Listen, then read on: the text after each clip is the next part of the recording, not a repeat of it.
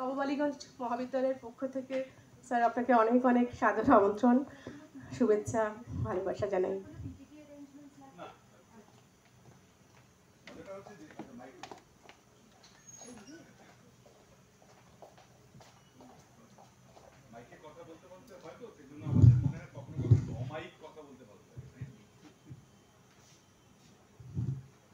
তো এখানে অনেককে দেখতে পাচ্ছি এটা একটা মাইক্রোফোন একটা মজা। সেটা হচ্ছে যখন আমরা রেডিওতে কথা বলি, তখন আমাদের গলাটা অনেক আস্তে কথা বলা যায়, অনেক রকম অনেকভাবে আমরা প্রকাশ করতে পারি। যদিও কথা বলতে হয় মাইক্রোফোন এটাই মজা। গলাটাকে একটু বেছে নেওয়া যায় ব্যারিটোন করা যায়। অনেকে দেখবেন গলার প্রতি একটা ভালোবাসা থাকে, একটু ব্যারিটোন ভয়েস অমিতাভ বচ্চনের ব্যারিটোন ভয়েস আবার একটা সময় কনসেপ্ট ছিল যে গলা ভালো না হলে বোধহয় রেডিওতে কাজ করা যায় না। কনসেপ্টটা যত দিন এগিয়েছে তত দিন কিন্তু আস্তে আস্তে প্রকাশ পেয়েছে যে না, গলা ছাড়া, গলা ছাড়াও কিন্তু ভালো কন্টেন্ট ক্রিয়েট করা যায়।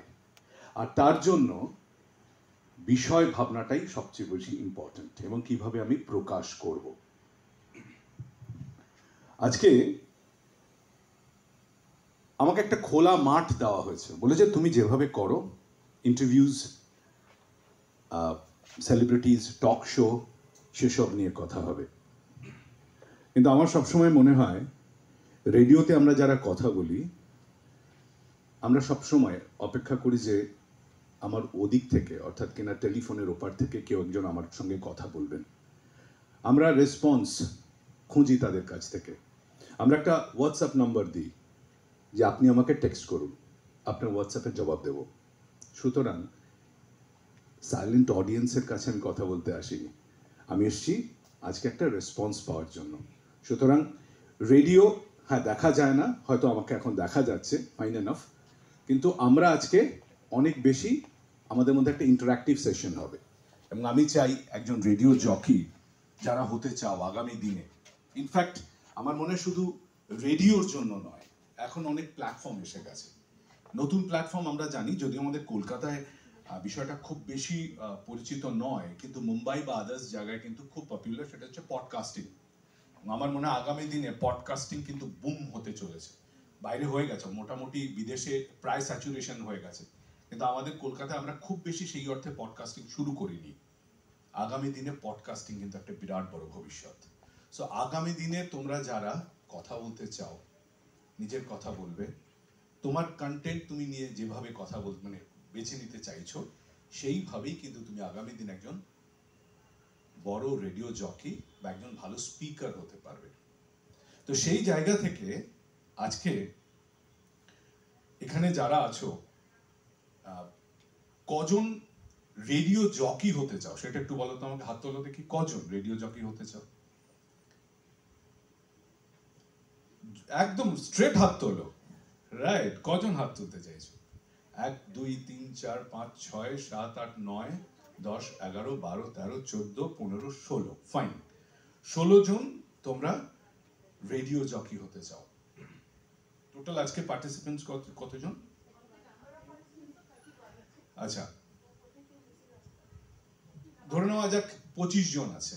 তার মধ্যে পনেরো জন অ্যাটলিস্ট জকি হতে চাও। আচ্ছা কেন জকি হতে চাও একটু বলবে আমায়? মানে একটা, আমাদের কাছে একটা খুব সুন্দর ছবি থাকে। নদীর এপার কহে ছাড়িয়া নিঃশ্বাস, ওপারেতে সর্বসুখ আমার বিশ্বাস। সুন্দর একটা গাড়ি চালিয়ে ঢুকলো, সকাল রাত নটার সময়, হালকা একটা কফি কাপ নিল, মাইক্রোফোনটা অন করল ভয়েস দিয়ে শুরু করল প্রোগ্রাম করল, রাত বাড়ি ফিরে গেল, প্রচুর ফ্যান ফলোয়িং মাসের শেষে লাখ টাকা মায়না। এরকম একটা ভাবনা আছে না? আছে না? ইয়েস এটা সবাই দেখে। যা যা বললাম, পুরোটা না হলেও পার্শিয়ালি তো কারেক্ট তিন ঘণ্টার কাজ নয়, ওটা ন ঘণ্টার কাজ। ওটা একটা জব শুধু তাই নয় পার্ট টাইম জব ছাড়া, যেখানে ফুল টাইম যারা রেডিও চকি তাদেরকে কিন্তু রিসার্চ ওয়ার্কও খানিকটা করতে হয়। আমাদেরকে তো করতেই হয়, যারা অন্যান্য স্টেশনে প্রোগ্রাম প্রডিউসার যারা থাকেন, তারা হয়তো খানিকটা রিসার্চ ওয়ার্ক করেন, কিন্তু বেসিক্যালি একজন জকিকে রিসার্চ ওয়ার্কটা করতে হয়। নিজের স্ক্রিপ্ট নিজেকে লিখতে হয়। কেন? আমার স্ক্রিপ্ট তো লিখে দেওয়ার লোক আছে, আমি বললে লিখে দেবে। আমার স্টাইল আমি ছাড়া কেউ জানে না। আমি যে স্টাইলে কথা বলব, আমার স্ক্রিপ্টটা যদি উনি লিখে দেন, উনি ওনার মতো করে লিখবেন। সেটা যখন আমি পড়ব অন এয়ার বারবার আমার মধ্যে কিন্তু কি হবে? ফ্লপ আসবে আমি আটকে যাব ফাম্বল হবে। সুতরাং আমার স্ক্রিপ্ট আমাকেই লিখতে হবে। বিকজ আমি জানি, আমি কীভাবে কথা বলি, আমার স্টাইলে কথা বলি। তো সুতরাং আর যে হতে গেলে হ্যাঁ আর যে হতে গেলে কিন্তু আরও অনেক কিছু করা যায়।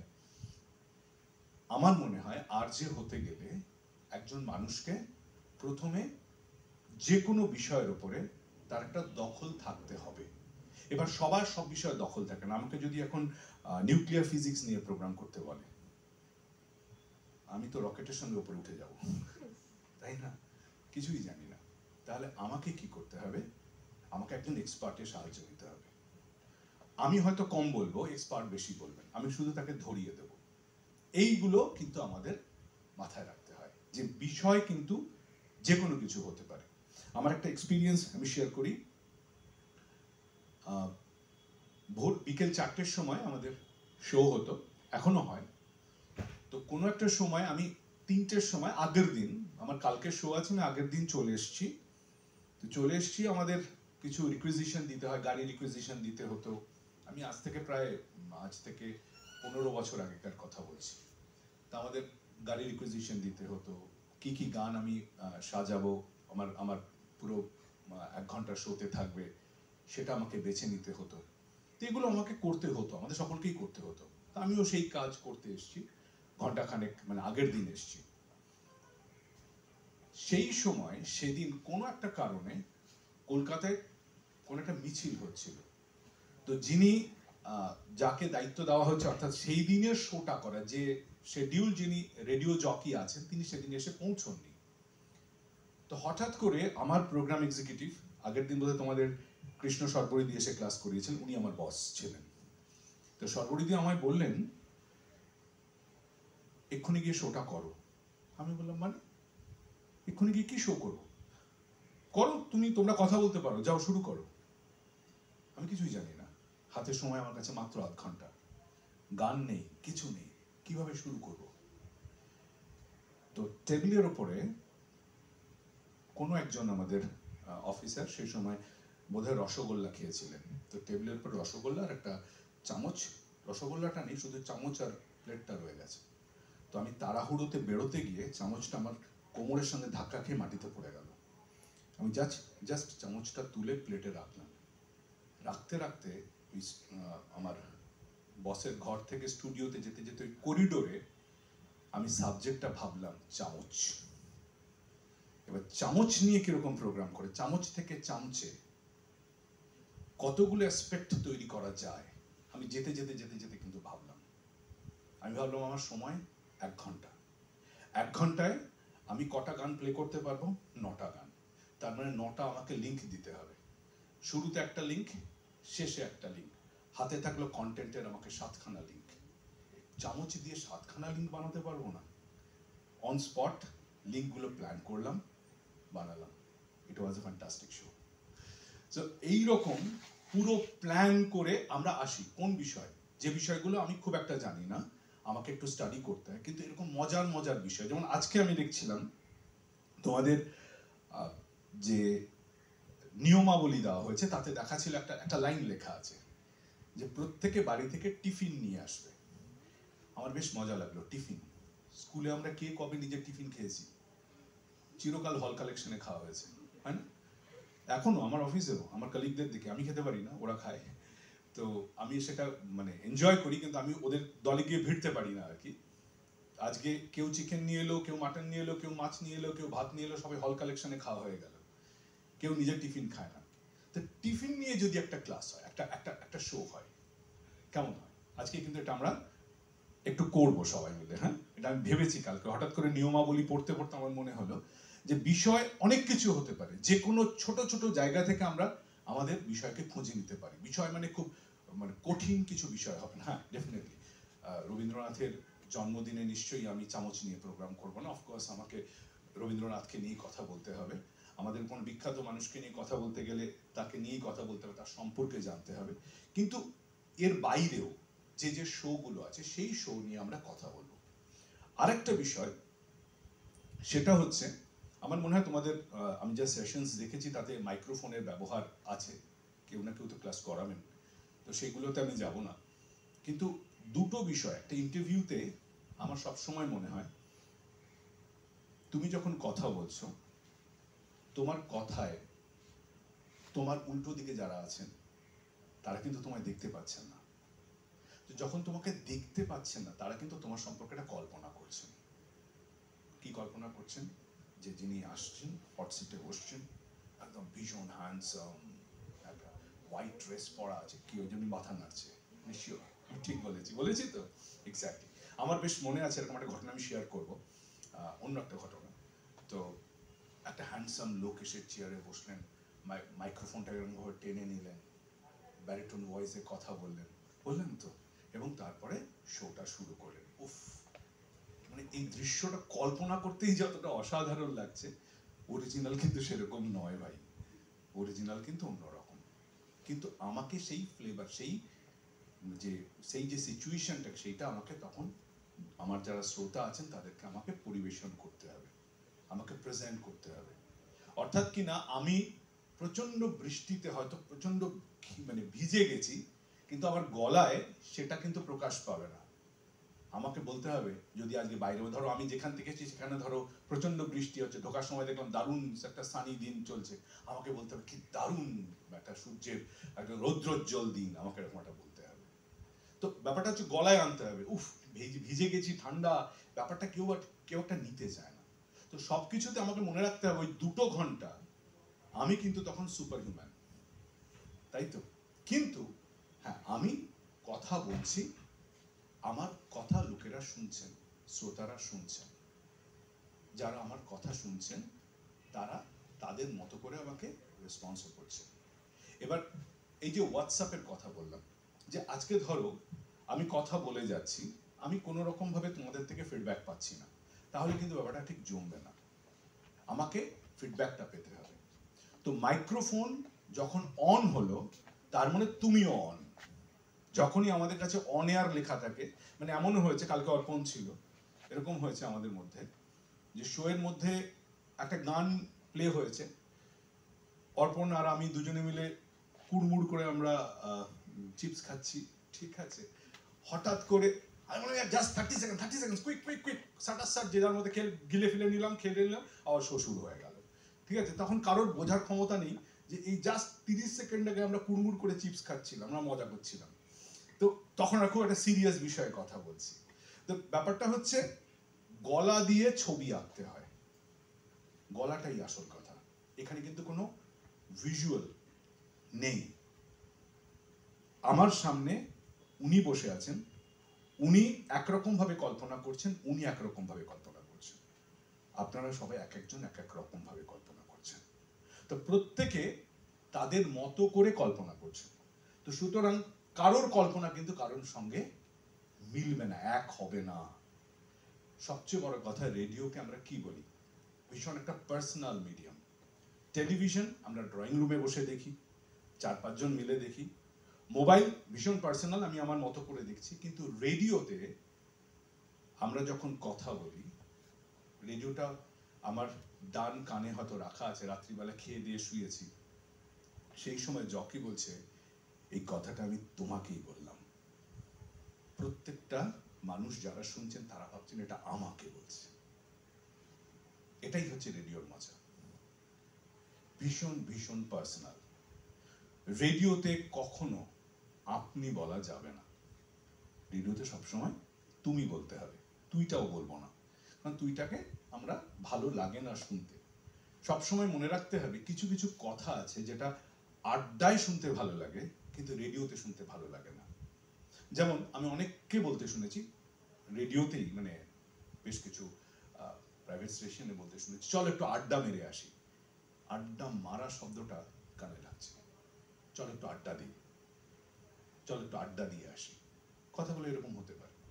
সুতরাং আমার কথা কি হবে সেটা ভাবা মানে সেটা ভেবে বলাটা কিন্তু ভীষণ ইম্পর্টেন্ট আর একটা বিষয় হচ্ছে, যদি কখনো আমি দেখছিলাম যে আমার যে সাবজেক্ট আছে তার যে ইন্টারভিউজ আছে। সো সেলিব্রিটি ইন্টারভিউজ এর ক্ষেত্রে আমার মনে মলয় আজকে খুব ডিটেলে ইন্টারভিউজ নিয়ে বলেছে। সুতরাং আমি খুব ডিটেলে যাব না। যখন কোনো কাউকে ইন্টারভিউজ করবে মানে ইন্টারভিউ যখনই করবে, আমার সবসময় মনে হয় যে তার সম্পর্কে একটু পড়াশোনা করে আসবে। একজন যাকে ইন্টারভিউ করবে, তাকে কিন্তু কখনোই বড় প্রশ্ন করবে না। প্রশ্নটা খুব ছোট হবে, তাকে ধরিয়ে দেওয়া আমি একজনকে বলতে শুনেছিলাম। আচ্ছা মান্না বাবু সেই গল্পটা মনে আছে? একদিন আপনি ট্রেনে করে যাচ্ছিলেন, সেই সময় যেতে যেতে একজন বাদাম বিক্রি করতে চলে এলো। আপনি তার থেকে বাদাম কিনলেন। কিনবার পর তা আপনার একটা গানের লাইন মনে পড়ে গেল। আপনি সেই গানের লাইনটা গুনগুন করে গাইলেন, সুর একটা করে ফেললেন। তারপরে এসে আপনি গীতিকারকে বললেন, গানটা লেখো। সেটা একটু বলবেন? আমি তো সব বলে দিলাম। মান্নাদে কি বলবেন? তাহলে আমাকে কি বলতে হবে? ট্রেন জার্নিতে বাদাম খাওয়া নিয়ে একটা গান লেখা হয়েছিল, সেটা আপনি সুর করেছিলেন। গল্পটা একটু বলবেন? আমি একটু ছুঁয়ে গেলাম। পুরো গল্পটা যদি আমিই বলে দিই, তাহলে মান্নাদে কি বলবেন? তাই না? সেই রকম সব সময় মনে রাখতে হবে যে একজন ইন্টারভিউয়ার যখন আমি কাউকে ইন্টারভিউ করছি, আমি যেন তার সম্পর্কে একটু পড়াশোনা করে আসি। একটা হোমওয়ার্ক করা খুব জরুরি। পঙ্কজ উদাসকে আমি একবার ইন্টারভিউ করেছিলাম। তো পঙ্কজ উদাসকে আমি তাকে প্রথম প্রশ্ন করেছিলাম যে আপনি রাজালের সঙ্গে গল্ফকে কীভাবে মেশান মেলান? সো উনি শুরু করলেন, শুরু করতে গিয়ে উনি থেমে গেলেন। উনি আমাকে বললেন how do you know I play golf hello আমি জানি। বিকজ আমি মানে জি জিতে মেলালাম গজল অ্যান্ড গল্ফ তো উনি এত খুশি হয়েছিলেন যে এন্ড অফ দ্য ইন্টারভিউ যখন ইন্টারভিউটা শেষ হয়ে গেল, উনি আমাকে বললেন this is not a routine interview I like it একটা ইন্টারভিউ কখনো রুটিন ইন্টারভিউ হবে না। আপনি কোথায় গান শিখেছিলেন? আপনার গানের ইন্সপিরেশন কে? আপনি প্রথম কোন অ্যালবাম আপনার বেরিয়েছিল? এগুলো সব রুটিন ইন্টারভিউ রুটিন ইন্টারভিউতে কেউ ইন্টারভিউ আমি আমি অনেককে বলতে শুনেছি, ভাই, আর কতবার বলব? আমার জীবনের শেষ অ্যালবাম বেরোতে চলেছে। ভাই, আমি প্রথম অ্যালবাম আর কতবার বলব? আমি অনেককে বলতে শুনেছি। তো সুতরাং, একটা ইন্টারভিউ যখন আমি কাউকে করব, আমার তার পেছনে কিন্তু যথেষ্ট পরিমাণে আমার রিসার্চ ওয়ার্ক থাকবে। আমি ভি বালসারাজিকে একবার ইন্টারভিউ করেছিলাম। অনেক দিন আগেকার কথা দু হাজার চারের কথা বলছি। বালসারাজি তখন বেঁচে। তো তখন বালসারাজি বালসারাজিকে আমি জিজ্ঞেস করেছিলাম যে, আপনি একটা নেপালি ফিল্মে আপনি মিউজিক করেছিলেন। তো আপনি সেই সুযোগটা কীভাবে পেলেন? তো কয়েক সেকেন্ড পজ নিয়ে বললেন যে নো আমি নেপালি ফিল্মে কখনো মিউজিক করিনি। আমার মনে পড়ছে না। বলে উনি অন্য কথায় চলে গেলেন। বলতে বলতে উনি লতাজির কথা বলতে বলতে হঠাৎ উনি আবার বললেন উনো ইয়েস আমি একটা ফিল্মে তো করেছিলাম। আমি তো নেপালি ফিল্মে একটা ইন্টারভিউ আমি তো মিউজিক করেছিলাম। Right right you are right so এই যে একজন মানুষ, তিনি আমাকে বলছেন যে আমি তাকে, তিনি ভুলে গেছেন যে তার সম্পর্কে আমি মনে রেখেছি। এবং at the end of the interview উনি আমাকে হ্যান্ডশেক করে বললেন, একজন মিউজিক ডিরেক্টর যেমন একজন সিঙ্গারের থেকে কথা বার করে আনতে পারে, একজন অ্যাঙ্কার হিসেবে, আপনিও জানেন কি করে একজন লোকের থেকে কথা বলতে কথা বার করতে হয়। আই মাস্ট কংগ্রাচুলেট ইউ এই বিষয়গুলো কিন্তু মাথায় রাখতে হবে। যে আমি তাকে রুটিন ইন্টারভিউ করব না। আপনি কোথায় গান শিখেছেন? আমরা অনেক সময় এরকম হয় আচ্ছা কি আছে ভাই? সিঙ্গার তো, ঠিক আছে ম্যানেজ হয়ে যাবে। ম্যানেজ হবে ওই আর কি, আপনি কার কাছে গান শিখেছেন? বাড়িতে কার কাছে আপনার, কে আপনার ইন্সপিরেশন ছিল? আপনার কে টিচার ছিল? এই প্রশ্নগুলো খুব নর্মাল প্রশ্ন। আমাকে এর বাইরে কিছু প্রশ্ন করতে হবে। যারা আমার শ্রোতা, কারণ সবসময় মনে রাখতে হবে আমি কিন্তু একজন শ্রোতা রিপ্রেজেন্টেটিভ আমার শ্রোতারা যারা আমার উল্টো দিকে শুনছেন, তারা, তাদের মনে অজস্র প্রশ্ন আছে। সেই প্রশ্নটা তারা করতে পারছেন না। তাদের হয়ে আমি প্রশ্ন করছি। সুতরাং সেখানে কিন্তু আমার ভালো লাগা, মন্দ লাগা, আমার পছন্দ সবকিছু কিন্তু আসবে না। হ্যাঁ কোনো একজন বিখ্যাত মানুষ, তিনি তাকে যদি আমি সবসময় আইকন মানি অফকোর্স আমার কথার মধ্যে হয়তো সেটা ঝরে পড়বে, আমি মানি সেই সেই প্রভাবটা থাকবে। কিন্তু তার বাইরেও সবসময় মনে রাখতে হবে, আমি কিন্তু সমস্ত শ্রোতাদের রিপ্রেজেন্টেটিভ সেটা মাথায় রাখতে হবে। কেমন? তো এই জায়গা থেকে আমার মনে হলো যেহেতু একটু আগে বললেন যে কলকাতায় লাভ গুরু বলে একটা শো শুরু হয়েছিল। সেটা অনেক দিন আগের কথা। মানে তখন আমাদের রেডিওতে অনেক কথা বলার ছিল বলে একটা শো হতো। মধ্যরাতে রাত বারোটার পর অনেকের অনেক কথা থাকে, সেই কথা শেয়ার করার কোনো জায়গা হয় না। তো তারা তখন ওই শোতে এসে বলতেন। ওই শোটা যিনি করতেন, তার আর আমার নাম এক, আমাদের নেম সেক আমরা বলতাম আর কি। তার নামও দেবাশিস বন্দ্যোপাধ্যায়, আমিও দেবাশিস বন্দ্যোপাধ্যায়। তো স্বাভাবিকভাবে শ্রোতারা গুলিয়ে ফেলতেন, কোন দেবাশিস? তো সেই জন্য আমি দেবাশিস থেকে দেব হয়ে গেলাম, ছোট করে নিলাম। ও তাতে একটা বিষয় দেখা গেল যে প্রচুর ইয়াং জেনারেশন তখন আমাদের তো ভালোবাসার সমস্যাটা ওই সময়টা বেশি হয়। তো ওই উনিশ, কুড়ি, একুশ, বাইশ, প্রায় প্রেমে পড়ছি, প্রেমে আমাদের ব্রেকআপ হচ্ছে, আবার প্রেমে পড়ছি, আবার ব্রেকআপ হচ্ছে, কি করব? যেমন আমি একটা মাঝে মধ্যে রাত্রিবেলায় শুক্রবার করে লাভ জাংশন বলে একটা শো হয়, তাতে ক্লাস এইটের ছেলে একটি বলছে, আমি অমুকের অমুককে ভালোবেসে ফেলেছি, ও সেভেনে পড়ে। আমি ভেবে যাচ্ছি আমি সেভেনে আমার কি অবস্থা ছিল। ঠিক আছে? আমার সেভেনে আমি কি সিচুয়েশনে ছিলাম? ভালোবাসার কথা ভাবতাম কিনা, বুঝতে পারতাম কিনা সেটাই আমি জানি না। যাই হোক, তো মোবাইল এই generation four G generation five G generation তারা সব কিছু ভাবতে পারে। তো সেই জায়গা থেকে ভালোবাসার ওই সময়টা, ওই ওই যে বয়সটা, ওই বয়সটা খুব আমি মনে করি হচ্ছে যে খুব ওই বয়সে আমাদের কথা মানে আমরা প্রায়শই ভুল করে ফেলি। তো আমি কি করব? তো সেই সময় যারা ওই বয়সের ওই প্রোগ্রামের শো তারা তাদের প্রবলেম নিয়ে বলতেন। তো দেবাশিস তখন তাদের বলতেন, ভাই, তোমার এখন পড়াশোনার বয়স, পড়াশোনা টড়াশোনা করো। ওসব পরে ভাববে, ভালোবাসা নিয়ে পরে ভাবা যাবে। তো আমার তখন কোথাও মনে হলো যে না, ওদেরকে একটু অ্যাড্রেস করা দরকার। যারা ক্লাস এইটে আছে, তাকে হয়তো আমি ধমক দিতে পারি, এই, পড়াশোনা করতে বসো, এখনই ভালোবাসা কিসে কিন্তু ভালোবাসার তো যাবে না ধমকে হয়তো সে চুপ করে যাবে, ভালোবাসার তো তার যাবে না।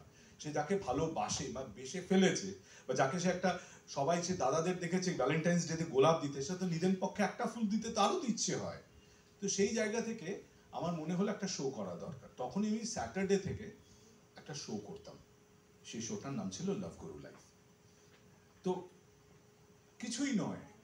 ভালোবাসা সম্পর্কিত কিছু সমস্যা, সেই সমস্যাগুলো থেকে তাদেরকে একটু কাউন্সিল করা, তাদেরকে বলা যে, না, সব ঠিক আছে। এখন তুমি আরেকটু সময় নাও, আরেকটু ব্রেকআপটাই তোমার জীবনের শেষ নয়। জীবনে আরও অনেক মানুষ আছেন। সেই শাহরুখ খানের আমরা ডায়লগটা দিতাম বারে বারে দেশো মে ছোট, ছোটি ছোটি বাত হতে হ্যাঁ। কিংবা তোমার, তোমাকে যে ভালোবাসে সে কোথাও না কোথাও তোমার জন্য ঠিক অপেক্ষা করছে, ঠিক তোমার জন্য আসবে। এই সমস্ত কথাগুলো আমরা বলতাম। কিছুই নয়, খানিকটা সময় তার সঙ্গে থাকা, তার হঠাৎ মন খারাপ। সেই মন খারাপটাকে সে কি করে? মন ভালো করতে পারে। ওই সময়টুকু তার যাতে ভালো লাগে। তো এটা কখন একজন মানুষ তার মনের কথা একজনের সঙ্গে শেয়ার করবে? যখন সে ফিল করবে যে আমার সঙ্গে যিনি কথা বলছেন ইজ মাই ফ্রেন্ড আমাকে তো সে দেখেন, আমার বয়স সে জানে না। আমি তার বন্ধু, না কাকু, না তার বাবা, সে কিচ্ছু জানে না। সে অকপটে স্বীকার করছে, জানো, আমার সঙ্গে না ওর দেখা হয়েছিল। তারপর আমরা একসঙ্গে টিফিন ভাগ করে খেয়েছি। ওকে না আমার অল্প অল্প ভালো লাগছে। ওকে কি আই লাভ ইউ বলব? ঠিক আছে? তো এই যে ব্যাপারটা, তাহলে সে আমাকে আমাকে সে ট্রাস্ট করছে যে আমি তার প্রবলেমটা সলভ করতে পারি। রেডিও জকির এটাই হচ্ছে কাজ।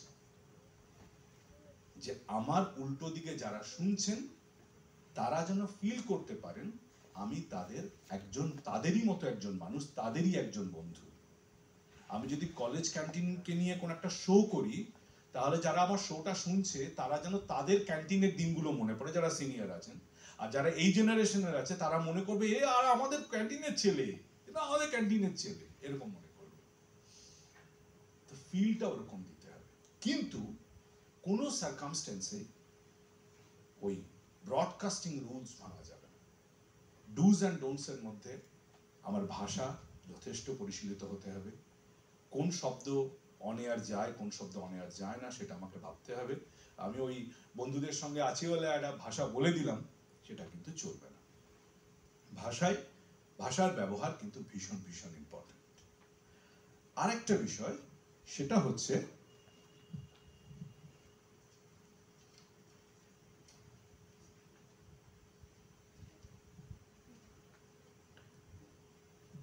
বিভিন্ন সময়ের যেমন মুড, মুডটাকে ধরা। ধরো একজন রেডিও জকি, তার, তাকে সকালবেলা একটা শো করতে দেওয়া হলো মর্নিং শো এবার তার যে মুড আমাকে যদি সকাল আটটার ব্রেকফাস্ট শো করতে দেওয়া হয়, তার মুড এক হবে না। আবার রাত নটায় একটা শো করতে দেওয়া হলো, রাত বারোটা একটা শো করতে দেওয়া হলো। চারটে শোয়ের মুড কিন্তু একদম আলাদা। আমি আমার সময়ের অনুযায়ী আমার প্রেজেন্টেশনকে চেঞ্জ করব। এটা কিন্তু একজন রেডিও জকির জানা উচিত। ধরো, একটা মর্নিং শো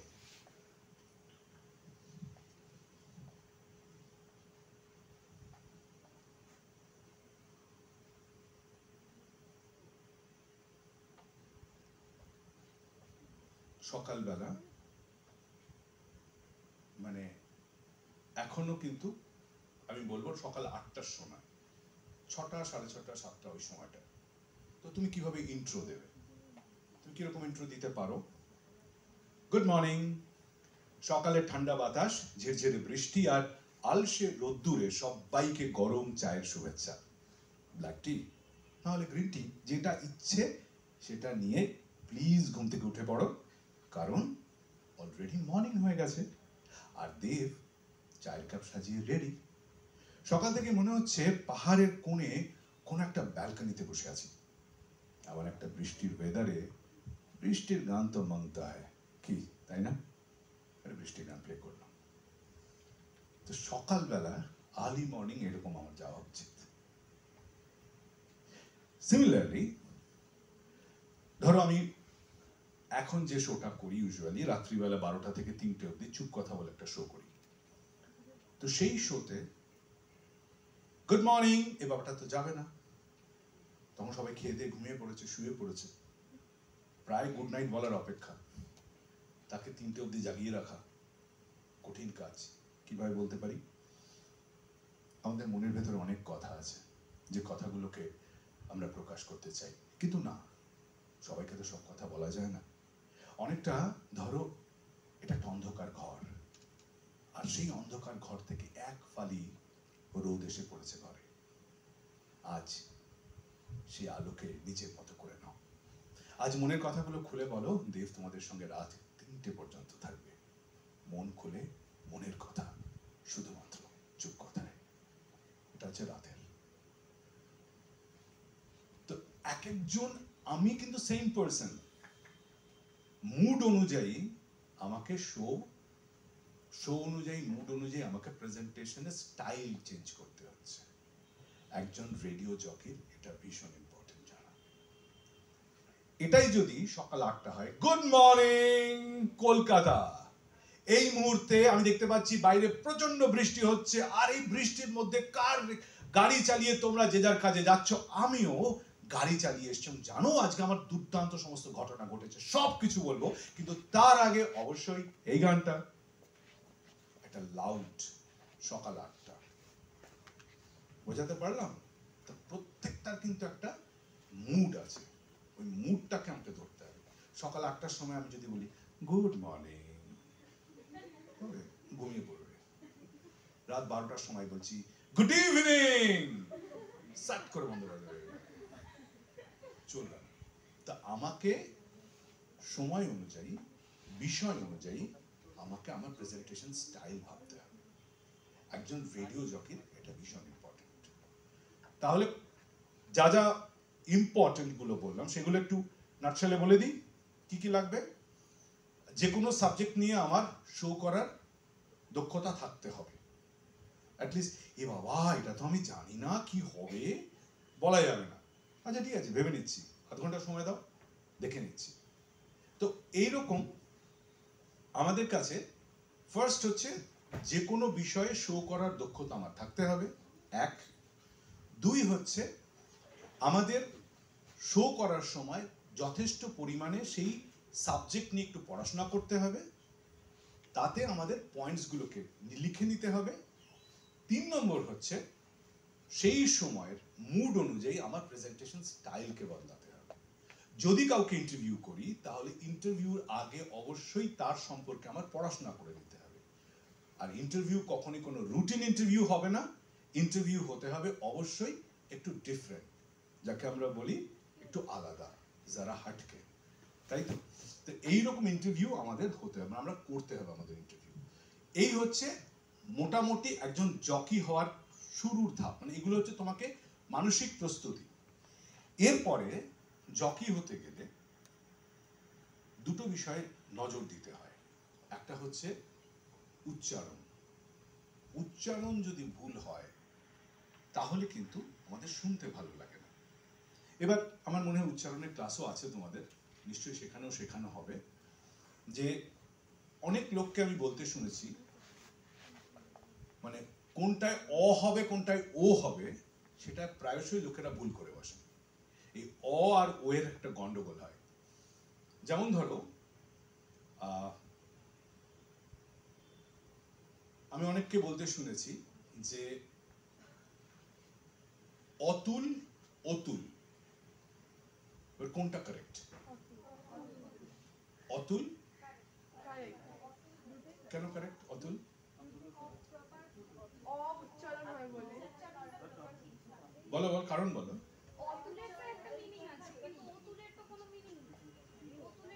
অতুলের কি মিনিং আছে? তুলনা যার তুলনা অতুল তাই তো? হ্যাঁ কিন্তু তয়ের অ হচ্ছে স্বরবর্ণ অর্থাৎ আমরা যেটাকে বলি প্রথম যে বর্ণটা সেটা হচ্ছে অকারান্ত। তারপরে রস্যৌকার আছে তুল।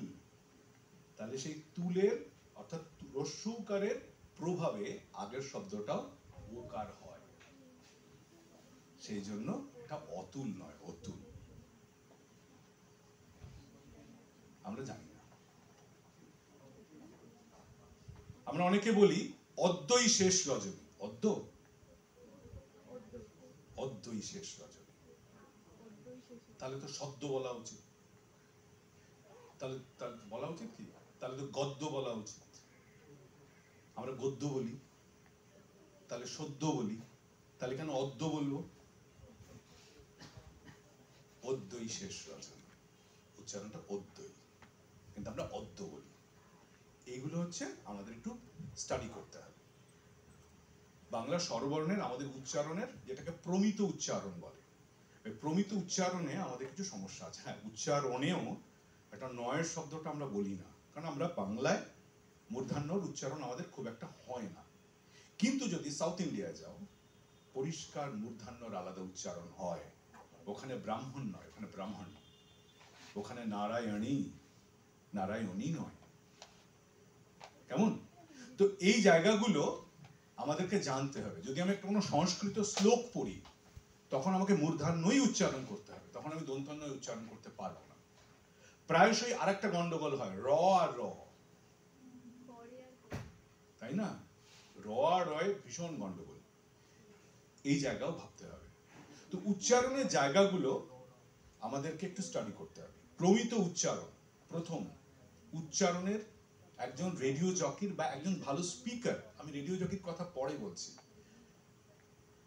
তুমি মাইক্রোফোন নিয়ে যখন কথা বলবে, তখন তোমাকে উচ্চারণ নিয়ে ভাবতেই হবে। এবং তারপরে আরও একটা বিষয় আসে, সেটা হচ্ছে মডিউলেশন আমি ভাত খাব আর আমি তোমাকে ভালোবাসি দুটো একরকম বলা যায়? যায় না তো। মা, ভাত দাও। একরকম। আমি তোমাকে ভালোবাসি, বলা যায়? না তো। আমি তোমাকে ভালোবাসি। আমি না তোমাকে ভালোবেসে ফেলেছি। আমরা এভাবে কথা বলি কিন্তু মাকে গিয়ে যদি বলি, মা হবে? না? তাহলে প্রত্যেকটা এক্সপ্রেশন তার একটা এক্সপ্রেশনের যেমন নিজস্ব ভাষা আছে, সেই এক্সপ্রেশনের ভাষা অনুযায়ী, সেই মুড অনুযায়ী আমরা আমাদের শব্দগুলোকে প্রকাশ করি। এবং সেক্ষেত্রেই তোমাদের তখন জানতে হবে যে মডিউলেশন সম্পর্কে জানতে গেলেই তোমাদের ভরতমুনির সেই নাট্যশাস্ত্র। কি কি রস আছে, সেই রস অনুযায়ী অর্থাৎ কি কি ভাবে আমাদেরকে এক্সপ্রেস করতে হয়। আমার মনে হয় অনেকে জানো বোধহয়। জানো বোধহয় নাকি? জানো? কি কি আমাদের আট রকমের কি কি রস আছে? হ্যাঁ? শৃঙ্গার রস, ঠিক।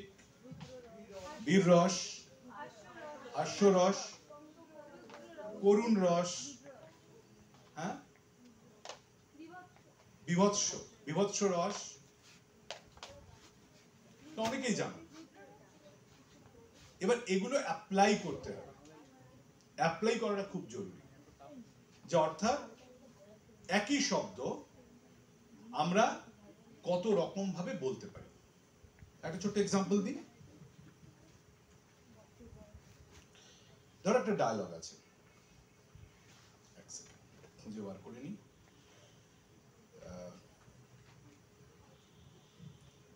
কেন হবে না? যা বলবেন, তাই হবে। আপনি কি আদেশ করছেন বলুন? এটা ধরো ডায়লগ এবার ধরো, আমি প্রচণ্ড জোরে বলব। কেন হবে না? যা বলবেন, তাই হবে।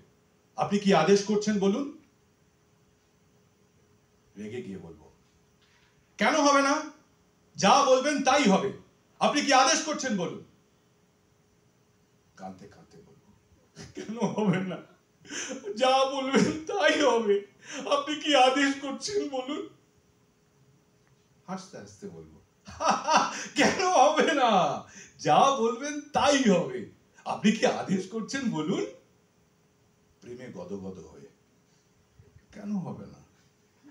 যা বলবেন তাই হবে। আপনি কি আদেশ করছেন বলুন?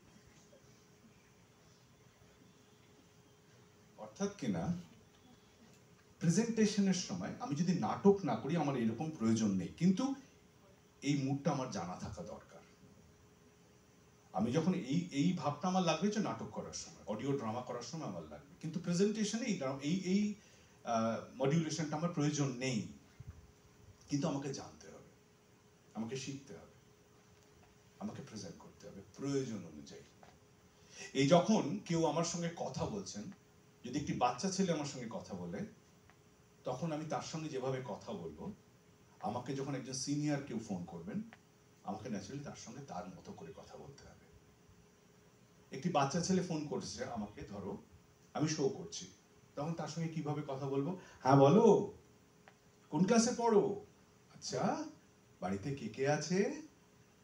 মা আছে? আচ্ছা কে বেশি বকে তোমায়? এটা বাচ্চার সঙ্গে কথা বলছি।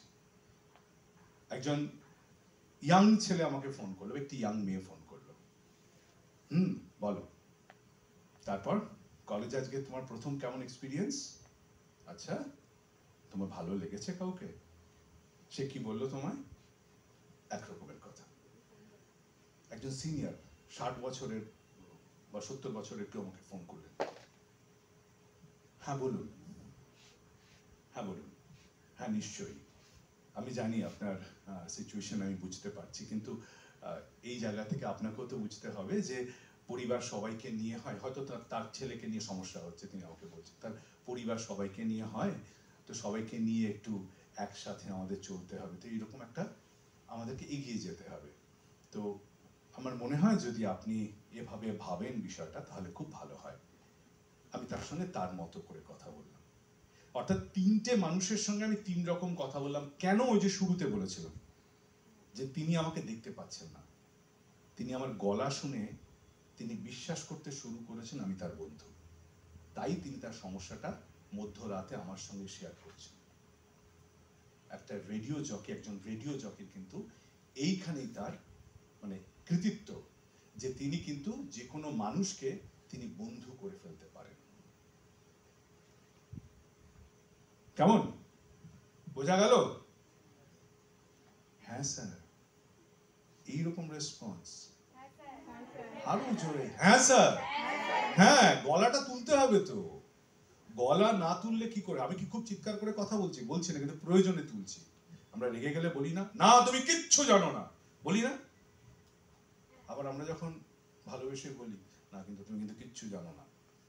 তুমি কিন্তু কিচ্ছু জানো না। এটা ভালোবেসে কেন কেন ভালোবেসে বলছি? যদি আমি ওকে চিৎকার করে বলি, ভাই, আমার ভালোবাসাটা কিন্তু কি হতে পারে? হ্যাঁ? ব্রেকআপ হয়ে যেতে পারে। সেখানে আমার ইনসিকিউরিটি আছে। আছে তো? সেই জায়গা থেকে আমাদের গলার জায়গাটাই, আমাদের বলা, গলা এবং বলা দুটোই কিন্তু ভীষণ ইম্পর্টেন্ট কীভাবে বলব, কীভাবে আমি প্রেজেন্ট করব? কেমন? আচ্ছা বেশ। এবার আমি খানিকটা কথা বললাম, আবার আসব পরের কোনো সাবজেক্টে কিন্তু তার আগে দুজন দুজন করে এসো। একটু একটু ইন্টারাক্ট করি। এসো, কে আসবে? রেডিও জকি যারা যারা হতে চায়। ইয়েস চলে এসো। আরেকজন কেউ এসো। একজন ফিমেল কেউ এসো। মেল ফিমেল কম্বিনেশন আমরা সবসময় পছন্দ করি। ভালো লাগে শুনতে রেডিওতে এসো। রেডিও জকিতে তোমরা পরীক্ষা দেবে, কেউ উঠে আসছো না, তাহলে কি করে হবে? ডেয়ারিং হতে হবে তো। কে আসবে? ভলেন্টারিলি এসো এসো এসো এসো এসো। মাইক্রোফোন দিন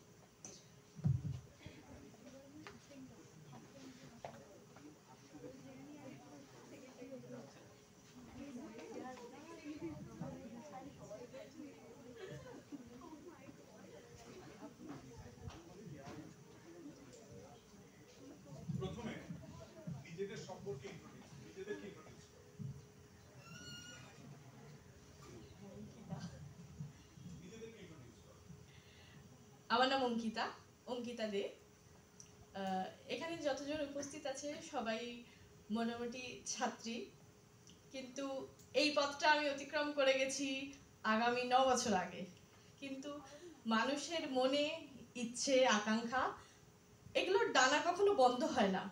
পাখির মতো উঠতেই থাকে। সেই জন্য এই ছাত্রাবস্থায় আমি যে স্বপ্ন দেখেছিলাম, আর যে হব আকাশবাণী গিয়ে পরীক্ষা দিয়ে ফিরে ফিরে চলে এসেছিলাম মুখ নিচু করে। সেই জায়গা থেকে দাঁড়িয়ে আমাদেরই কলেজ আবার সুযোগ করে দিয়েছে। তো আমি এমনিতে ব্রাইট প্রফেশনাল একজন ওষুধের কোম্পানিতে চাকরি করি টেরিটরি সেলস অফিসার কিন্তু মনের দিক দিয়ে আর যে, কথা বলতে, কথা শুনতে, আর বাকি মানুষদের সঙ্গে নিজেকে একাত্ম করতে ভারী ভালোবাসি। তাই আজকে আমি এখানে ও introduce কর- নিজেকে introduce করল। বলো তো এই যে introduction টা তোমরা শুনলে, আহ, কেমন লাগল? Speciality কি? আলাদা করো। ভালো সবাই বলেছে। তার সিচুয়েশন থেকে মানে সে যে সিচুয়েশন থেকে বেরিয়ে এসেছিল সেটা তার মানে মনের ভাবটা প্রকাশ করল যেটা আমাদের যারা এখনকার এই বয়সে কয়েকজন আছে সেটা হয়তো সেই ফিলটা পাবেই না। আবার যদি তার মতো সেই বয়সে আরও দু তিনজনের কাছে থাকতো সেটা সেই তিনি সেই ফিলটা করতো যে তিনি যেটা আহ, পায়নি সেই সময় সেটা তার বয়সে আরেকজন করছে তারও একটা মনে মানে তার মানে বলতে হবে যে ও টোটাল যে মানে যারা অডিয়েন্স যারা আছে সবাইকেও ছুঁতে পারে।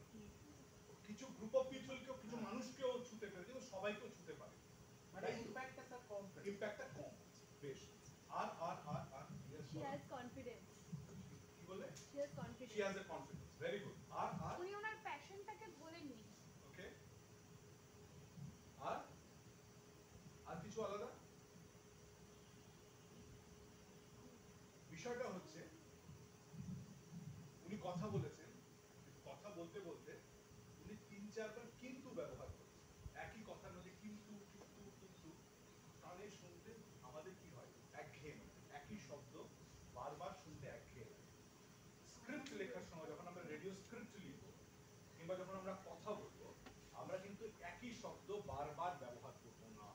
এটা কিন্তু থাম্বনেলের মতো করে এটা একদম মাথায় দিয়ে রাখতে হবে। যে এটা আমরা এক শব্দ বারবার ব্যবহার করি।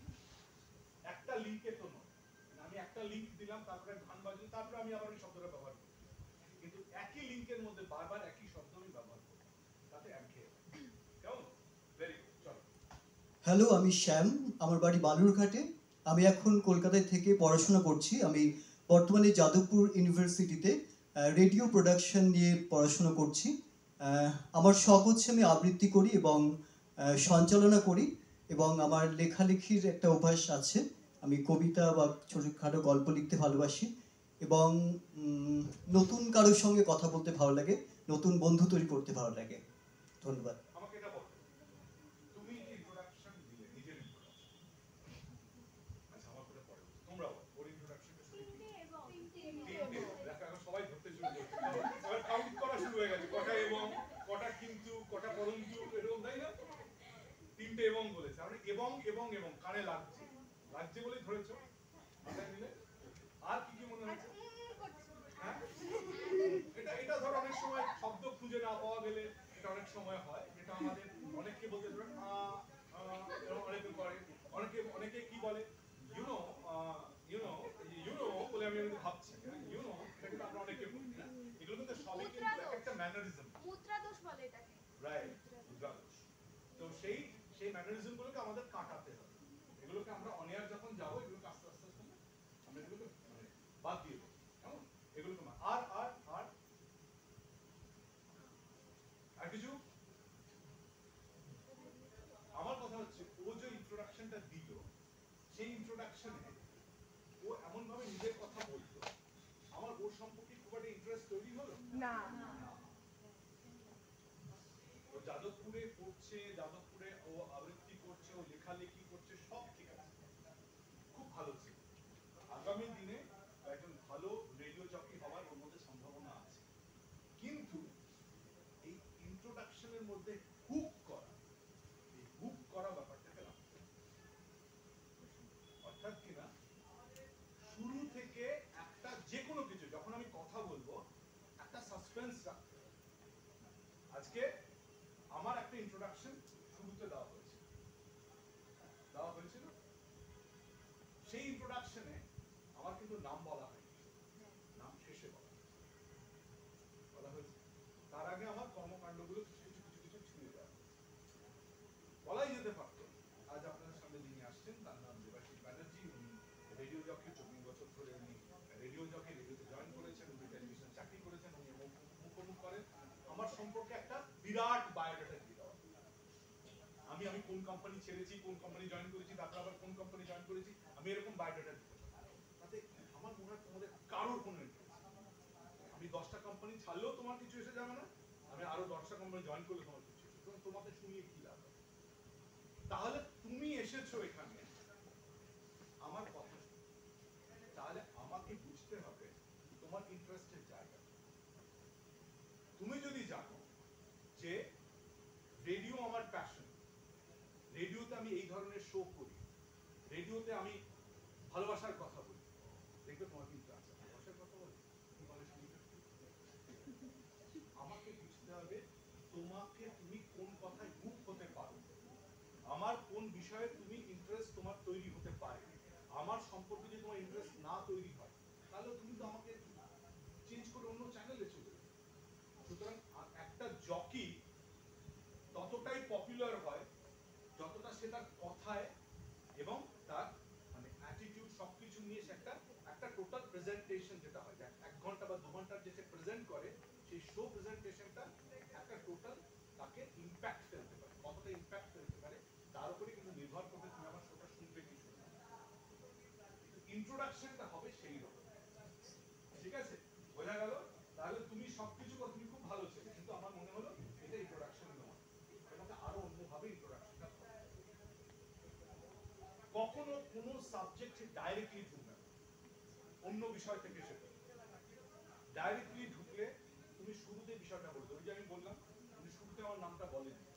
তুমি শুরুতে প্রচুর কিছু বলে সবশেষে আমার নামটা বলছেন এবং এত কিছু বলছেন তখন লোকে জানতে চাচ্ছে কি লোকটার নামটা কি?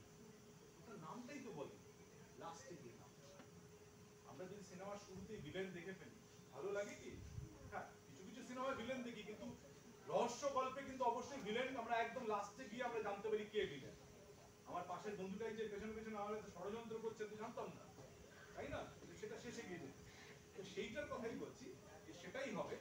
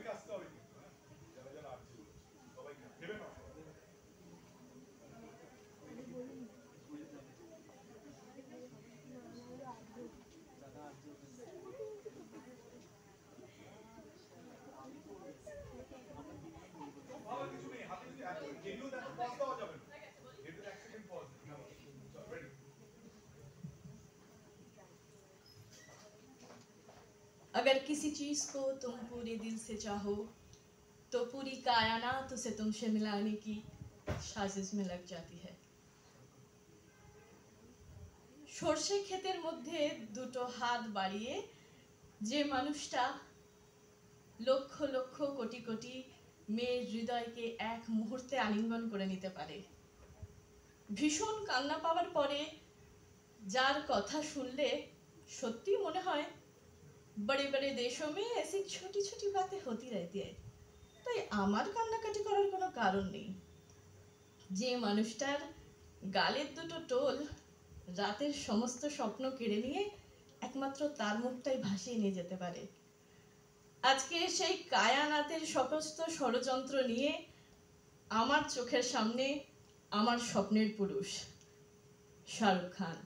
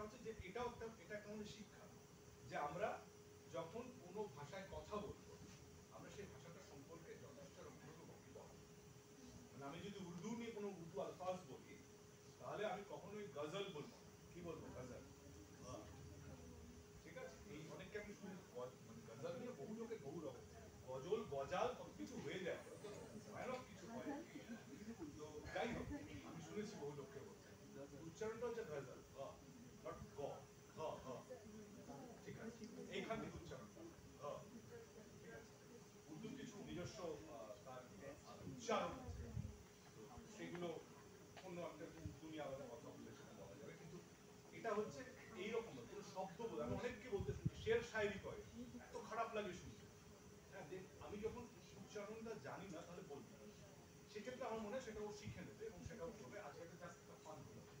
আর জিনিস হচ্ছে ইন্ট্রোডাকশনটা একটু বড়। আরেকটা ছোট। আমি সেকেন্ডে বিশ্বাস করি। আমার মনে হয় আমার ইমোশনটা প্রকাশ করার জন্য যতটুকু সেকেন্ড দরকার সেকেন্ড আগে একটা সময় কনসেপ্ট ছিল, আড়াই সেকেন্ডের মধ্যে দুটো কথা বলতে হয়। তাতে কি হয়? হুড়োহুড়ি করে যদি বড় যুক্তাক্ষর থাকে, তাহলে কি করে শেষ করব? তখন খুব মানে কি মনে হয়? খুব মেকানিক্যাল লাগে ব্যাপার সেটা সেই জন্য আমার মনে হয় আমার ইমোশনটাকে প্রকাশ করার জন্য যত সেকেন্ড লাগে তত সেকেন্ডই লাগবে কিন্তু আমি যেন প্রপারলি সেই আমার ইমোশনটাকে প্রকাশ করতে পারি এবং খুব বড় হবে মানে আমি অনেককে বলতে শুনেছি এই ধরুন রাজার বাজার থেকে শুরু করে তারপরে টালিগঞ্জ থেকে শুরু করে তারপরে গড়িয়াহাট থেকে শুরু করে তারপরে বাইপাস থেকে শুরু করে আমি কোথায় শুরু করেছিলাম এত শুরু করে শুরু করে শুরু করে শুরু করে এই দিয়েছি শুরু করে সেই দিয়েছি শুরু করে অমুক দিয়েছি শুরু করে শুরু করে শুরু করে করে বললেন আমাকে শেষ করতে হবে কোথাও শুরু করলে কোথাও গিয়ে শেষ করতে হবে এবং সেটা কখনোই দুই থেকে তিনের বেশি হবে না চারটার বেশি হবে।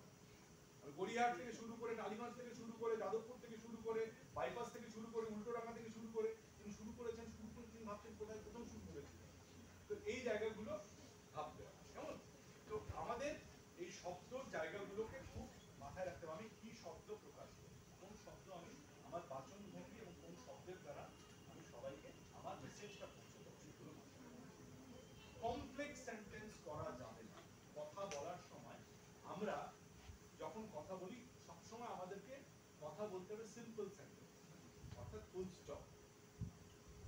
ও যদি রাজা হতো তবেও প্রচুর জামা কাপড় পরে এখানে আসতো, রাজার মাথায় মুকুট লাগাতো, তারপরে এই করতো, সেই করতো ওই আবার বললাম, ছুটতে ভুলে গেছি। ঠিক আছে?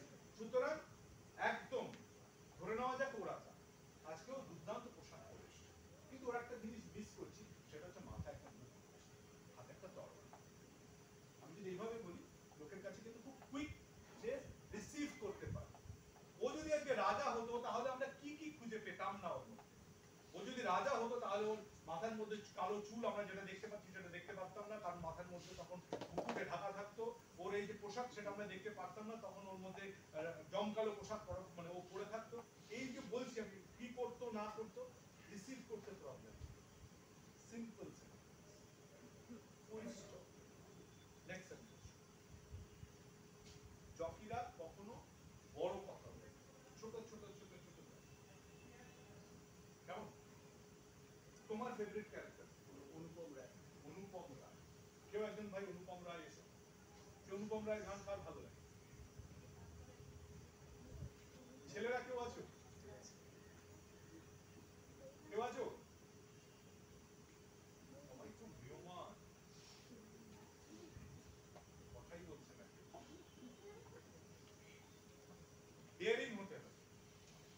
হতে কিন্তু এক্ষুনি কেঁদে শোনাও, কাঁদতে হবে। হেসে শোনাও হাসা আমার হে- হেসে দিতে হবে চিৎকার করো চিৎকার করতে হবে এগুলো কিন্তু করতে হবে এবং সুপার অ্যাক্টিভ হতে হবে বেশ ওকেই মনে করো অনুপম বলো। তাহলে তুমি ইন্ট্রোডিউস করে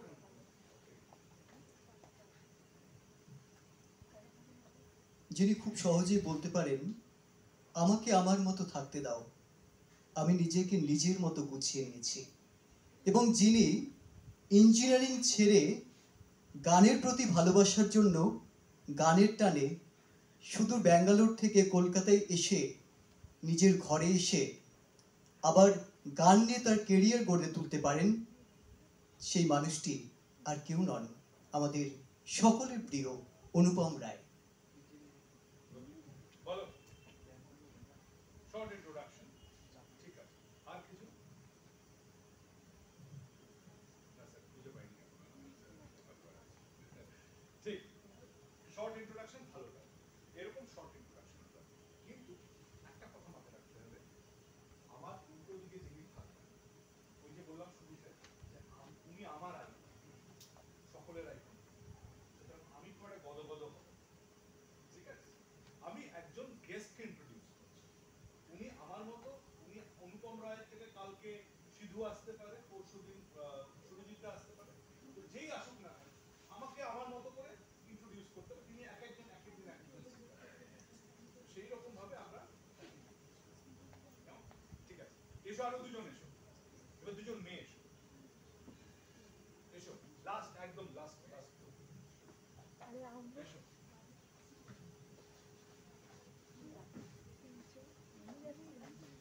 এসো ধরো সাবজেক্ট থাকল লাইফে যদি একটা ব্যাকগ্রাউন্ড মিউজিক থাকতো কি হতো? ধরো এই সাবজেক্ট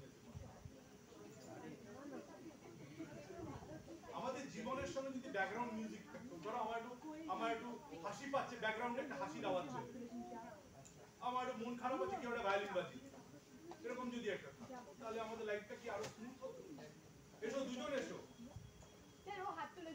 হ্যাঁ এসো এসো এসো। তুমি- তুমি অনুপম রায়ের ভক্ত বলেছ। হ্যাঁ, এসো।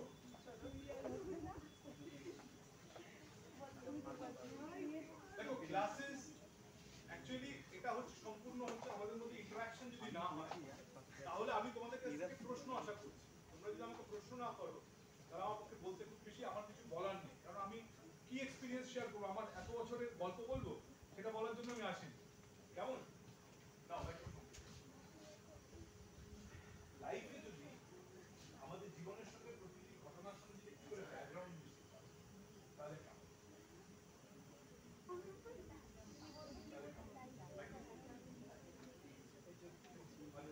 না, সেটাই বলব। এটা নিয়ে ধরো না যে তোমার দু মিনিট কথা। ধরো আমাদের life, আমাদের জীবন তো, ধরো আমার খুব মন খারাপ। আমি শুনতে পাচ্ছি কেউ একটা এসে হাসি। হঠাৎ আমার খুব হাসি পাচ্ছে। কেউ একটা background এ খুব একটা, আহ, হাসির আওয়াজ দিয়ে দিল। আমাদের লাইফের যদি প্রতিটা ক্ষেত্রে যদি একটা করে ব্যাকগ্রাউন্ড মিউজিক বাজে তাহলে কেমন হ্যালো আগে ইন্ট্রোডিউস করো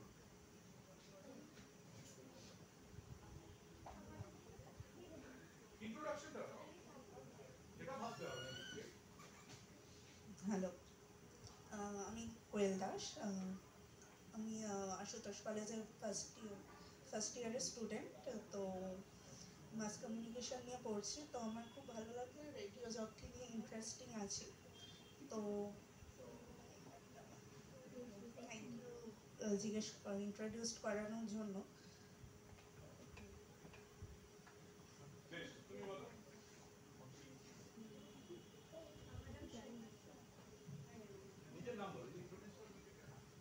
হ্যালো আমার নাম সৌবর্ণা রয়। আমি আশুতোষ কলেজে ফার্স্ট ইয়ারের জার্নালিজম আর mass communication student radio jockey হব এরকম কোনো সেরকম ইচ্ছা নেই মানে কিন্তু খুব ভালো লাগে। অ্যাকচুয়ালি আমি থিয়েটার করি। আর আপাতত এখন মানে আমি সবেমাত্র শুরু করেছি। এবার আমার একটা নাটকই প্রযোজিত হয়েছে। তো ইচ্ছা আছে থিয়েটারটা নিয়ে এগোনোর। তারপরে যদি সেটা নিয়ে কোনো কিছু হয় তো ভালো। আর আমি গানও করি, দুটো আমার মানে দুটোকে নিয়ে আমার এগোনোর ইচ্ছা, ব্যাস। ঠিক আছে সমস্যা হচ্ছে। ধরে নিলাম একজন অ্যাসপায়ারিং সিঙ্গার আমার স্টুডিওতে রেডিও জকি হিসেবে উপস্থিত তোমাকে ইন্ট্রোডিউস করো ওকে যে দুটো গান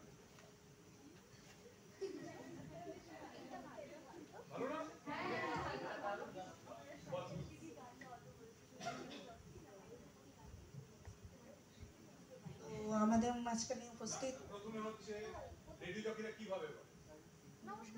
কথা বলবে।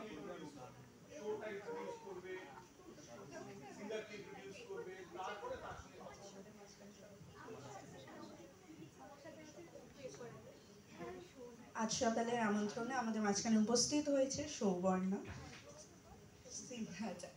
সিঙ্গার সৌবর্ণা। তো আমরা ওনাকে দিয়ে দুটো লাইন গাইয়ে নেব।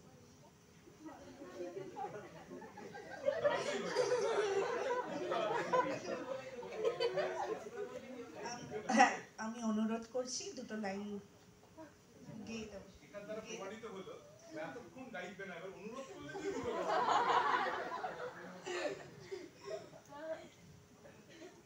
আরেকটু বলতে হবে।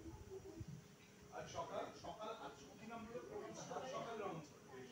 আজ সকালের আমন্ত্রণ মানে সকালবেলা বোঝা যাচ্ছে তাহলে সকালের একটা ফিল দাও সবাইকে যে সকাল হয়েছে সকালবেলা সবাই গুছিয়ে বসেছে চায়ের কাপড়ে নিয়ে বসেছে খবরের কাগজটাও সঙ্গে আছে চায়ের কাপ খবরের কাগজের সঙ্গে যদি দুকলি গান শোনেন কেমন লাগে এই মুহূর্তে আমাদের সঙ্গে আছেন অঙ্কুশ। এরকম এইভাবে ঢোকো না ব্যাপারটা বলো।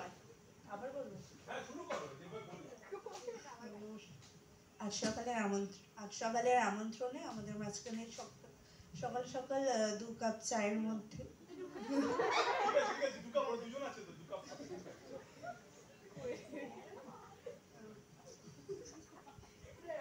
বলছে না হবে সকাল সকালে কি কি হয় চায়ের কাপ হয় খবরের কাগজ থাকে ঘুম ভাঙা হয় একটা রেস্ট থাকে ঘুমের একটা রেস্ট থাকে আমি সবই ঘুমিয়ে পড়ি।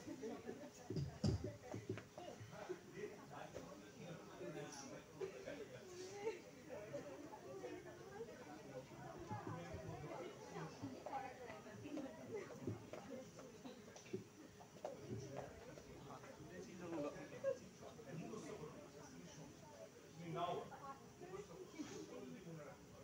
তুই ফিলটা কেন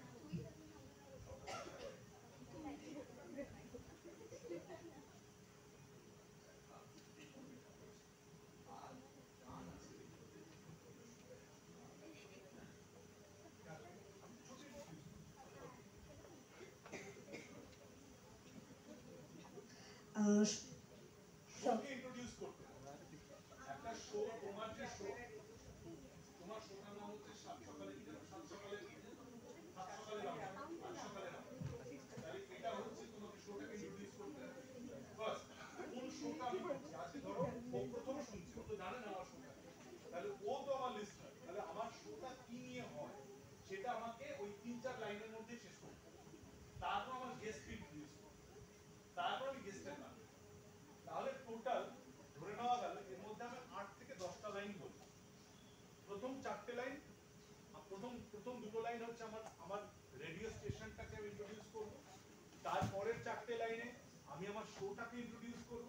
তারপরের চারটে লাইনে আমি আমার গেস্টকে তাহলে টোটাল দশ লাইন দশ লাইন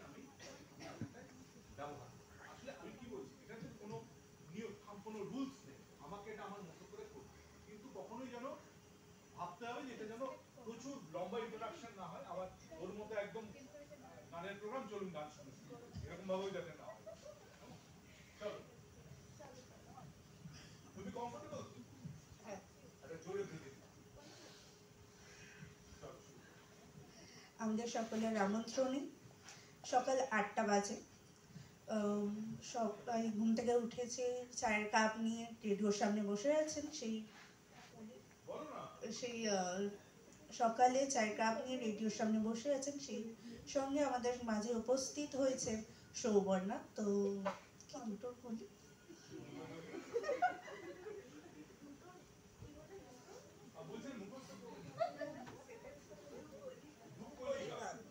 বলি শুভ সকাল। আজ সকালের আমন্ত্রণে আমি আসতে পেরে আজকে আমাকে আমন্ত্রণ জানানোর জন্য পুরো ধন্যবাদ জানাই চ্যানেলকে। সকাল আটটা বাজতে যায়। রবি ঠাকুরের একটি গান দিয়ে আজকে আমি শুরু করছি।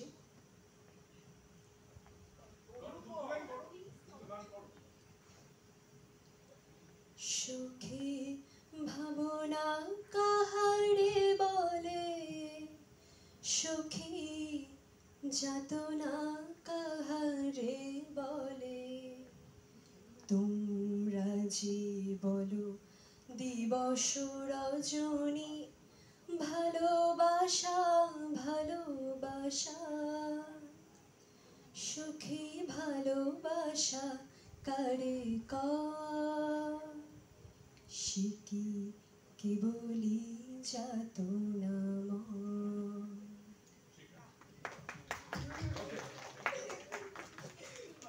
ঠিক আছে থ্যাংক ইউ আচ্ছা এবার আমার মনে হলো এবার তোমরা শুনবে আমি কেন এটা করাচ্ছি কারণ শ্রোতা হিসেবে তোমার কানে যদি বিষয়টা তোমার কানে লাগে, তাহলে কিন্তু তুমি রেক্টিফাই করতে পারবে নিজেকে যে আমি যখন জকি হব, তখন আমার কি কিগুলো করা উচিত এই জন্য এগুলোকে করানো হচ্ছে। ধরো ও ওখানটা বসে এতক্ষণ বুঝতে পারেনি যে আমি কীভাবে ইন্ট্রোডিউস করব।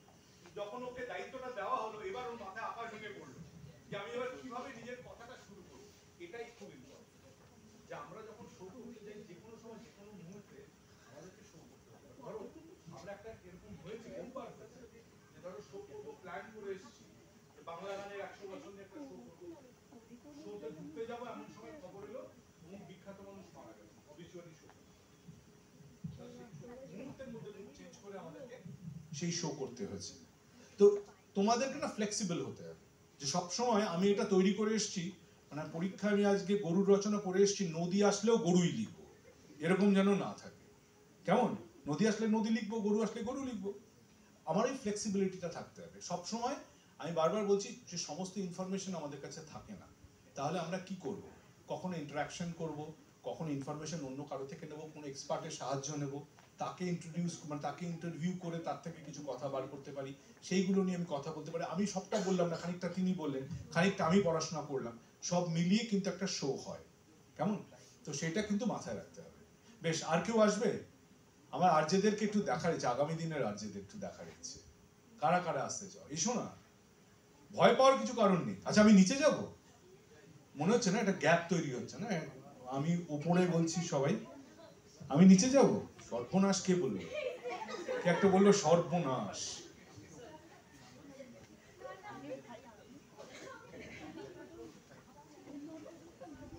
কি? আওয়াজটা জোরে হচ্ছে? হ্যাঁ হ্যাঁ। আচ্ছা এই দিক থেকে আসি। কিছু কথা বলা যায়?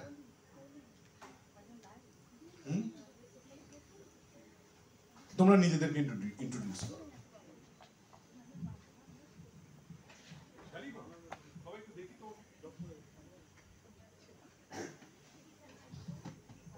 নমস্কার আমি ঋতব্রত ভট্টাচার্য মহারাজা মনীন্দ্রচন্দ্র কলেজে সেকেন্ড ইয়ার পড়ছি। আমি লেকটাউন থেকে আসছি। এবং এই আর্চের এটা করতে পেরে খুবই ভালো লাগছে। না। মানে এআই আর শোনা হয় না। হ্যাঁ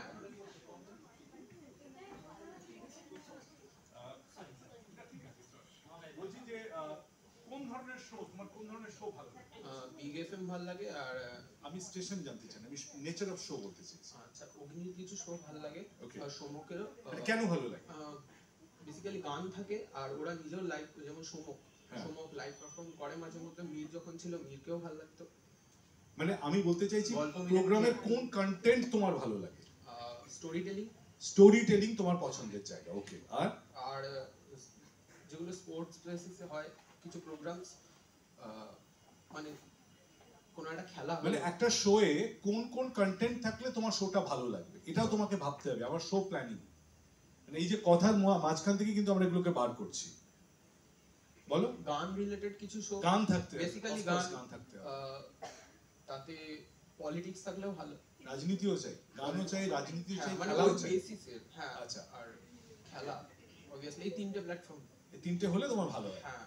রাজনীতি আমার মনে হয় না কোনো এফএম স্টেশনে থাকবে। না মাঝে মধ্যে কিছু পলিটিক্যাল জোকস থাকে। আচ্ছা জোকস থাকে। ওকে। পলিটিক্যাল জোকস থাকে। কাউকে পোক করে কিছু বললে ওকে আর যা যে আরজেদের কথা তুমি বললে সেই আরজেদের কোন গুণটা তোমার বেশি ভালো লাগে? মানে ওদের ফার্স্ট অফ অল দ্য হিউমারটা হিউমার ওদের পছন্দ।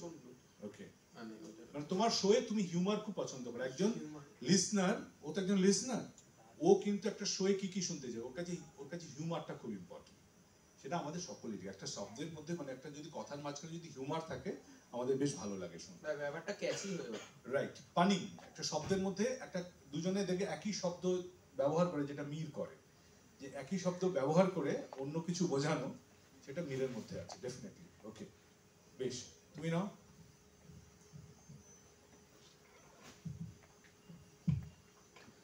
আমার নাম অন্বেষা দাস। আমি মহারাজা মনীন্দ্রচন্দ্র কলেজের সেকেন্ড ইয়ারের ছাত্রী। কোর্সটা করতে পেরে ভালো লাগছে কিন্তু কোনো ইন্টারেস্ট ছিল না। কারণ আগে কখনো এরকম কোর্স করিনি। তো ভাবলাম যে করি দেখি কি হয় না মানে জাস্ট তুমি চলে এলে আচ্ছা দেখি কি হয়। হ্যাঁ, ভালো লাগলে থাকব না হলে নেই। না আহ, নিশ্চয়ই ভালো লাগছে কি? হ্যাঁ, একটু। একটু লাগছে আর কালকের দিনটা গেলে বোঝা যাবে। ফিফটি পার্সেন্ট নিয়ে চলে গেলে বোঝা যাবে আদৌ কতটা ভালো লাগল। বেশ বেশ। আর রেডিও শোনো? কালকে আচ্ছা কাল প্রোগ্রাম শুনেও কালকে শো শুনেছি ভেরি গুড বেশ ভালো লাগে। মানে অ্যাটলিস্ট এই শো এর মানে আমাদের এই ক্লাসের কিন্তু এটা একটা আমাদের ভালো দিক যে আমরা একজন লিসনার বাড়াতে পেরেছি। রেডিওর একজন লিসনার আমাদের মানে বেড়েছে খুব ভালো খুব ভালো। কোন মানে কোন শো তোমার ভালো লেগেছে? আচ্ছা বিডি স্যারের শো শুনেছো ওকে মনীন্দ্র আচ্ছা মনীন্দ্র চন্দ্র কলেজ কি সুরতীর্থ বলে কিছু একটা শো করছিল কালকে ওটা শুনছিলাম ওকে যে আর যে তারপর শুনলাম আচ্ছা বুঝতে পেরেছি। না মানে তুমি বিডি স্যারের শো বলেই শুনেছো কি? না এমনি শুনে? আচ্ছা তাহলে বিডি স্যারের শো এর মধ্যে তোমার কোনটা সবচেয়ে বেশি ভালো লাগে? ওরকম ভালো লাগে না স্যার বলে বলে ভালো লাগে তো ওই জন্যই শুনি। ওকে ওকে বেশ বেশ চলো পাস করো। আমার নাম রৌনক চক্রবর্তী মহারাজা মনীন্দ্র কলেজের স্টুডেন্ট জার্নালিজমের সাথে সাথে একটা ভালো অপরচুনিটি যেহেতু পেলাম সেই জন্য একবার এই এটাতেও চলে এলাম যে আর্জের ডিটেলসে জানতে পারব তার সম্পর্কে ওই জন্য। ওকে এর আগে রেডিও শুনেছো বা রেডিও শোনো? না খুব একটা শোনা হয় না। রেডিওটা শোনা হয়। ইউটিউবে দেখেছি আর রিলসে ইউটিউবে দেখেছ রেডিও হ্যাঁ আর যে নবীদের আর যে প্রবীণ আচ্ছা আচ্ছা। মানে ভিডিও ওদের যে অ- অ- হ্যাঁ সেগুলো তো থাকেই। এখন এখন তো রেডিও আর শুধু রেডিওতে নেই এখন সোশ্যাল মিডিয়াতে যথেষ্ট বেশি ভিডিওতেও শোনা যায়। যাই হোক আর বলো? আর মানে এই রেডিও তোমার খুব একটা শোনা হয় না না খুব একটা শোনা হয় না। এরপর থেকে কি শুনবে? হ্যাঁ আমার শো শুনতে বলছি না। যে কোনো সব- শুনবে? বেশ সকলের সই শুনো ভালো লাগবে রেডিওকে আমরা বলি ভীষণ আমাদের ব্যক্তিগত একটা বন্ধু ঠিক আছে? রেডিও শুনলে ভালো লাগে। অন্তত পক্ষে রেডিও শুনে একটা মজা হচ্ছে যে রেডিও শুনলে না অনেক ইনফরমেশন পাওয়া যায়। নেক্সট পাস করো। নমস্কার আমি পল্লবী দত্ত। আমি মহারাজা মনীন্দ্রচন্দ্র কলেজে সেকেন্ড ইয়ারে জার্নালিজম মাস কামের স্টুডেন্ট আজকে রেডিওর এই যে প্রোগ্রামটা হচ্ছে এখানে ছোট থেকে আপনি যেটা ফার্স্টে বললেন যে না একজন রেডিও জকের যে একটা মাইন্ড একটা থাকে যে না সুন্দর গাড়ি করে আসব যাব একটা প্যাশনেটেড একটা মাইন্ড এটা সবারই থাকে। তো সেরকম এটা ছিল কিন্তু যে কী করে রেডিও জকি হতে হয়?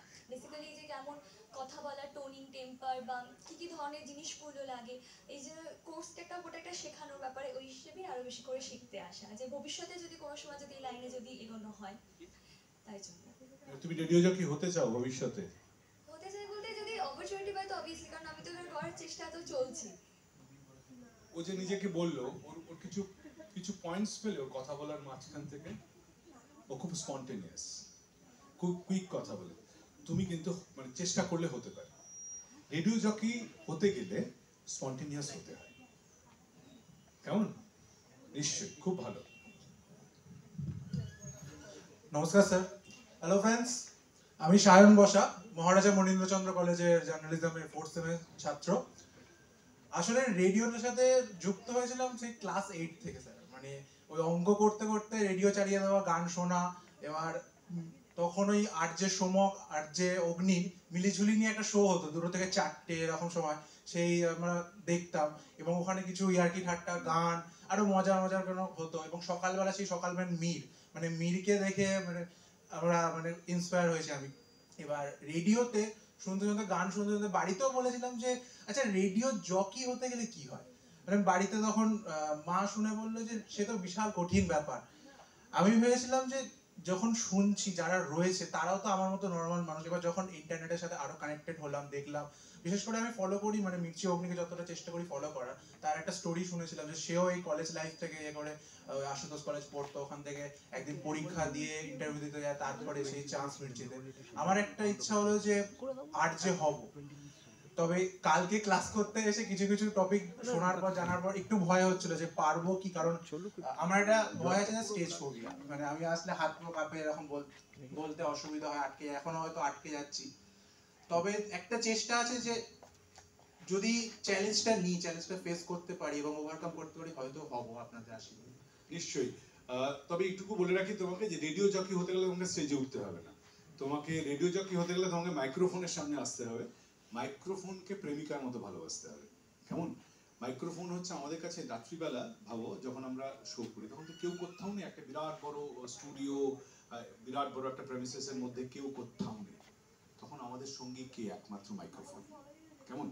এবং মাইক্রোফোনকে ভালোবাসার একটা গল্প বলি, সেটা হচ্ছে আমরা বিখ্যাত, তোমরা অনেকেই হয়তো তার নাম জানো না